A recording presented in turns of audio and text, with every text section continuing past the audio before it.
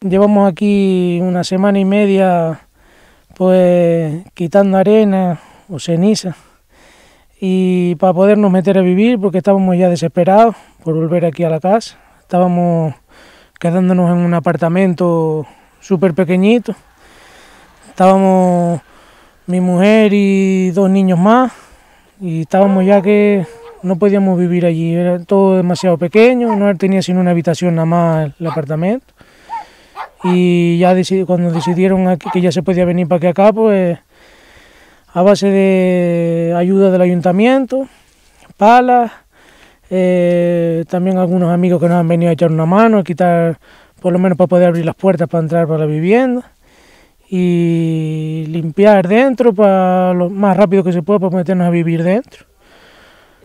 El apartamento nos lo dejó una señora, era amiga de mi suegra y nos hizo el favor y nos dejó el apartamento para que pudiéramos meternos a vivir porque al principio estábamos viviendo en una autocaravana, una autocaravana que tenemos nosotros, pero ocho días fue lo que pudimos aguantar viviendo dentro porque con un niño pequeñito de un año y medio, después otra niña de 11 años, eso es para un par de días, eso no para muchos días no no puede vivir ahí dentro porque no tiene ni dónde lavar ropa y un niño de un año y medio no lo puede aguantar dentro de una autocaravana ahí ocho días que estuvimos ahí dentro, ya ocho días fue lo que aguantamos, no aguantamos más.